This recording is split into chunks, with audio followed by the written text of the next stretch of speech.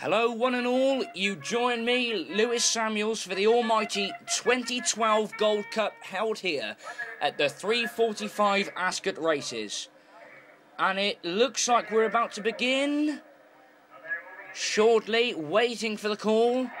And yes, we're off to a flying start.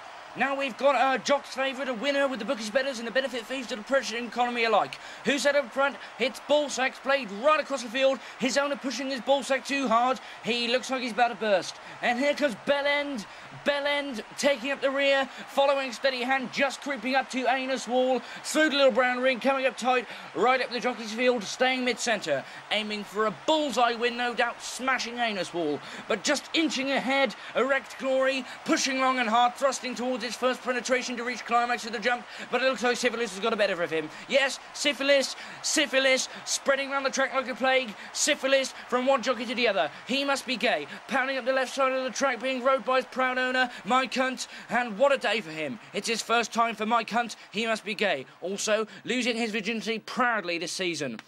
But what's this? Pisshead opening up to a 12 inch lead, charging forward like there's no tomorrow. Now to sum up so far, in first, up front is Pisshead, pissing up the wall slowly but surely, followed by Fuck Me, Fuck Me, yes, he's going for it, just behind us, just behind it, just behind, just behind him, Spunker spunking up the call on the right-hand side, in fourth, always fourth, and famous Sergeant Pepper, who's taking a steady stance, just as he did 20 years ago today, when he held the band to play, in fifth. Oh, you cunt has just leapt forward, heading due north, leaving Ballsack, Bell End and Anus Wall at the bottom fighting desperately for glory.